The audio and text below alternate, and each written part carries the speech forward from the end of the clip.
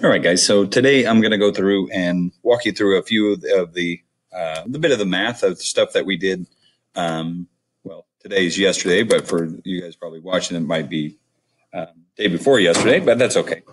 Okay, so what I'm going to do is I'm going to walk you guys through the steps of figuring out um, how to how to get all this information, right? So I'm going to take, say, the tallest tree that we looked at uh, yesterday outside was the big Douglas fir that's about 100 feet tall.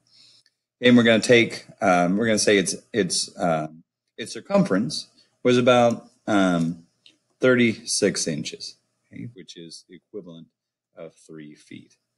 Okay, and so um, now I can take this here. Now I have 100 feet for every every one foot. There's 12 inches, so I'm going to say it's 1,200 inches. The way I could do that is I could just go like this, where I get my calculator. So I take 100, not point 100, so 100 times 12 okay, equals 1,200 inches. Okay, so then that way I have both these numbers here. So that way I have it in inches and feet. Okay, so this is the little sign for feet. This is the sign for inches.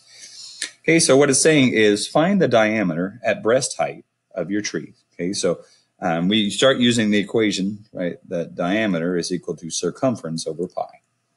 Okay, so I'm going to take this here.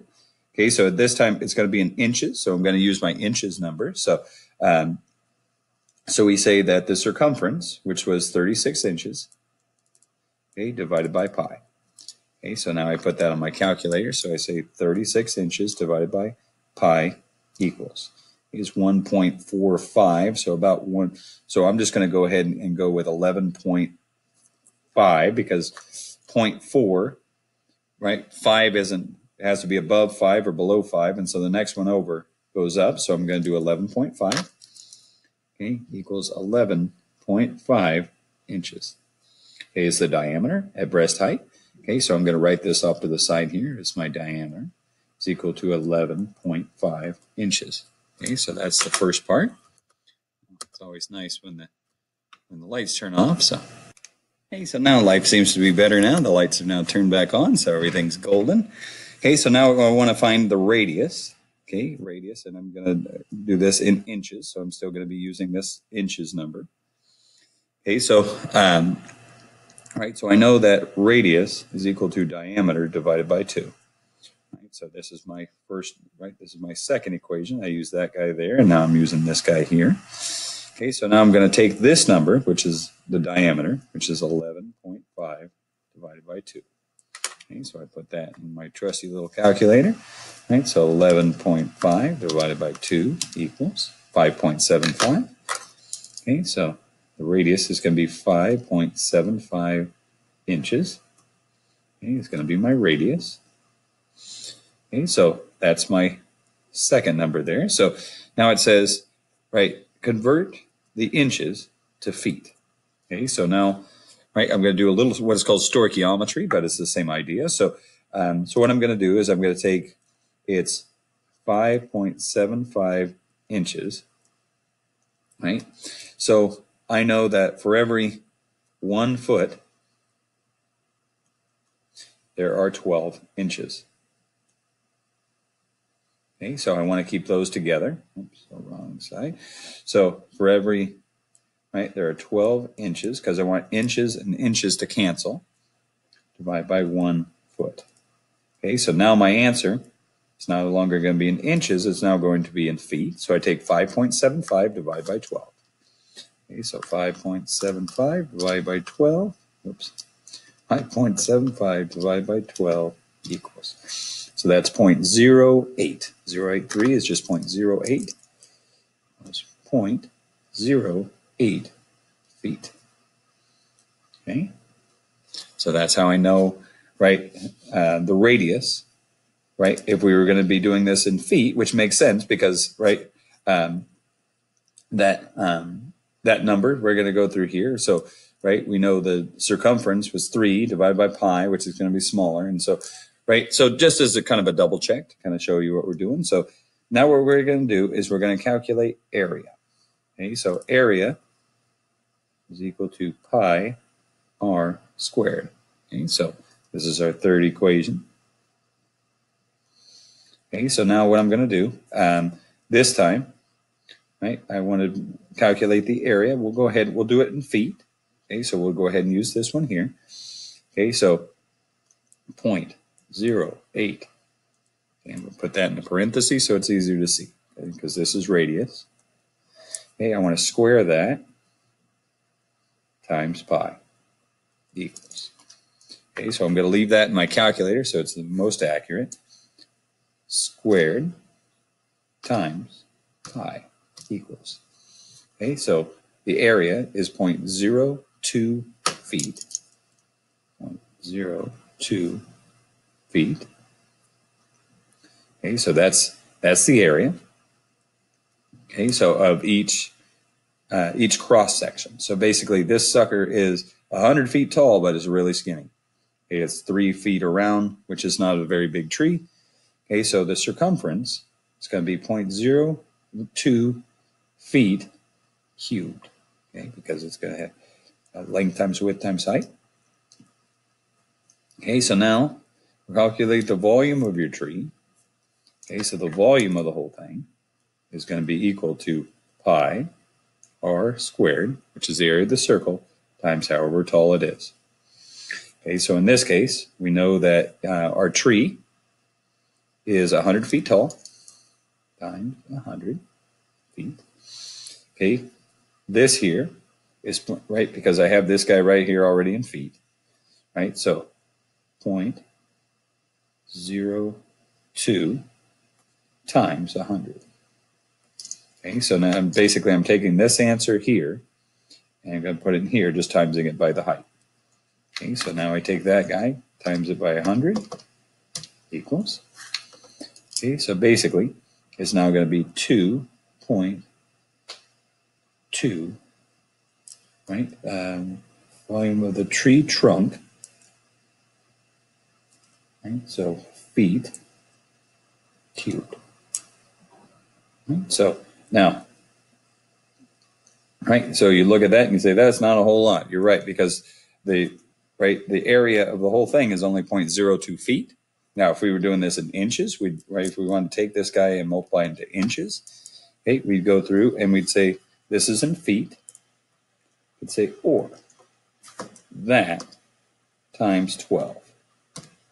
Okay, so now you'd end up with 26.2 inches cubed. It's all the same thing. So that's the volume. Okay, so in the last section, what we're going to do here is we're going to take this and we're going to figure out board feet. Okay, so we're going to take this answer here, which is 26.2. Okay, so we're going to take this whole thing. We're going to divide it by 4.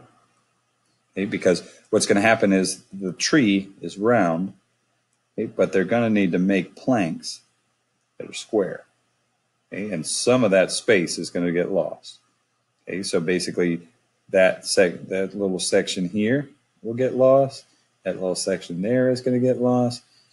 Okay, and so basically we're only going to take these four sides. Okay, so now I take that, divide by four,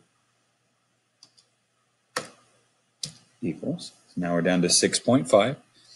Okay, and so now remember, it's in terms of uh, square. Okay, so we're going to go through, we're going to multiply this by 12. Okay, so when we get done, oh no, no, hold on. Divide 26.2 divided by 4 equals. Okay, so we end up with 6.55 board feet. Right, so now as we go here. So the last part of it.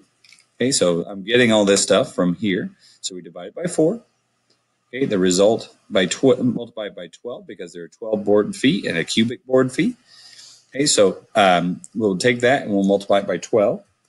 Okay, so 6.5 times 12 equals. Okay, so we end up with 78.6 board Okay, so the steps of that, right, we divide by 4, and we multiply that by 12. It's 12 by 12. Um, so on the backside, backside is just a little bit more, uh, more the same type of information. So this is just right? Why did the distance from from you to the tree equal the height of the tree, right? Remember when we looked at the picture, here I'll grab one of those so I can show you, right? When we looked at the picture, when we started, this guy, okay, so we knew how far we were away. Okay, this is basically making a right, right triangle. So we're using proportions, right? That this over here would be equal to that. So if we drew like a big square all the way around it, that's how we know the distance we see is going to be how far we are away.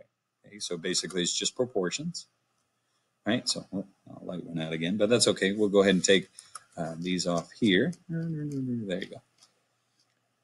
Okay, so now, right? So next question, right? Suppose that you had a 6,000 board feet, uh, board feet of lumber to build a house with a floor plan of blah, blah, blah. How many trees would be needed to build this house if they're all the same size as the tree that you measured? Okay, so then what I would do,